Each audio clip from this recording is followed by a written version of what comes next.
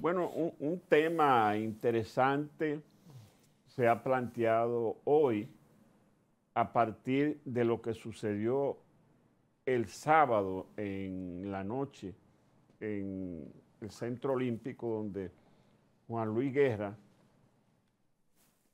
ofreció un concierto que al decir de mucho es el mejor concierto que Juan Luis ha hecho a, lo largo de su carrera, no solamente por el contenido musical, sino cómo se distribuyó el acompañamiento de otros artistas y, la, y la cantidad de gente que respaldó ese concierto que terminó a la medianoche.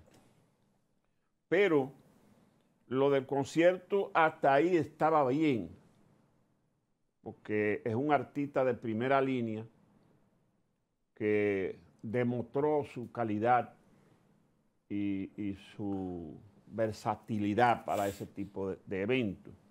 Sin embargo, el tema de los drones que se utilizaron para hacer promociones comerciales contaminó ese evento.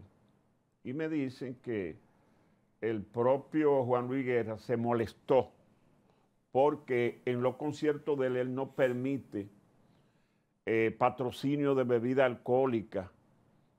Y lo, primero que presentaron los drones fueron una cerveza y unos rones y que eso él se molestó. Segundo, la publicidad política. No solamente eh, eh, eso contaminó el concierto, sino que la publicidad política generó una especie de indignación. Un bu del carajo. En sectores que tuvieron presente ahí, sectores políticos de la oposición, que ven que el PRM no desaprovecha oportunidad por promover su gente, como promovieron a Dio Atacio, el candidato a alcalde por la provincia de Santo Domingo Este. Y eso no cayó bien. Eso no cayó bien. Eh, mucha gente dice, no, eso no es nada. Yo tengo eh, eh, el compañero Oscar Medina, dice que no, que aquí se han hecho siempre ese tipo de publicidad.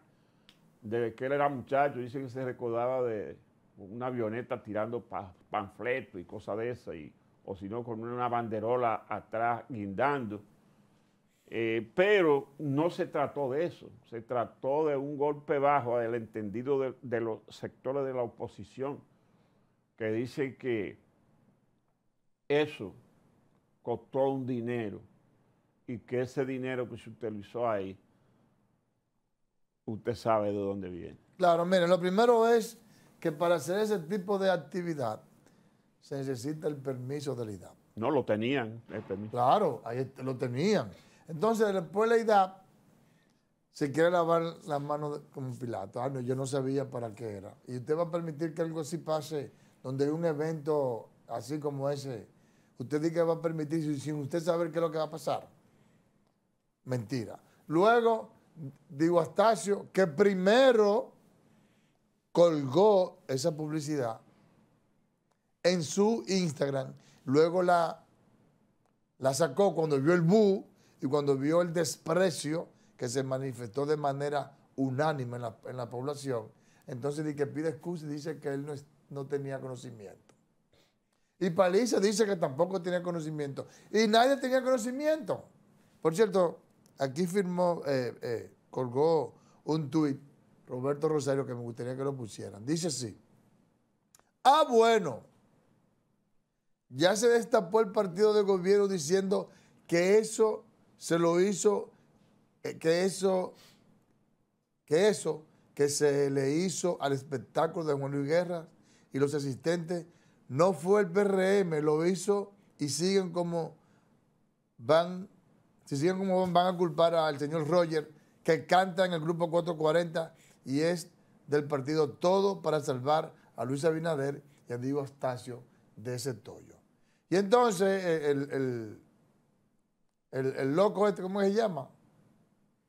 Se echó la culpa a él, pero la verdad es que eso es un verdadero abuso, un abuso de poder, un irrespeto a, a- a- a ese evento y un irrespeto a, a todo el que acudió, acudió a ese evento. Yo estoy seguro que en ese evento había muchísimos PRMistas. Y aún así, los PRMistas se sintieron indignados con eso. Y ese bus fue, mira. Y déjeme decir otra cosa que usted no sabe. Porque usted cree que nada más era Diego Estacio. Después, después de Diego Estacio, iba Carolina. Y después de Carolina, iba Luis Abinader. Pero no lo pusieron eso. No, no lo llegaron a poner porque, porque fue, fue hizo facto el repudio. Pero el plan no era solamente con Diego Estacio. Era primero Diego Estacio, luego Carolina Mejía y luego Luis Abinader. Eso es una muestra de descaro total de parte del PRM que ahora, ahora como siempre, busca echarle la culpa de sus tollos a alguien. Ahora apareció el chivo expiratorio, este, el muchacho este, eh, ahora no, me- no me acuerdo del nombre, Cari, el Karim este, que, que el loco. Él mismo se ha puesto que un loco. Pero eh, eh, ahora di que el culpable de, eso fue él. Eh, pero no me digas. No me digas que él va a hacer eso. Que el IDAP va, va a dar el permiso. Que Diego Astacio, desde que salió la cosa, lo colgó. Al- a los dos segundos de, de que eso salió, ya estaba colgado en, su, en sus redes de Instagram. Entonces, cuando vio que vino un bus demoledor que soy yo de aquel lado, yo lo sentí de aquel lado. Y yo ese bus donde que viene, sabía que era eso. Entonces pidió excusa y no fue él. Su, ni él, ni su equipo, ni nadie del PRM sabía nada. Y el IDAP, pero si el IDAP permite eso y no se entera de qué es lo que va a pasar, ese señor no puede estar ahí. Bueno. Ese señor no puede estar ahí.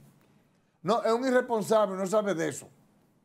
mire, eh, se nos termina el tiempo y tenemos que referirnos a un hecho que ocurrió ayer en la comunidad de Villa González, en Santiago, donde se produjo prácticamente una matanza.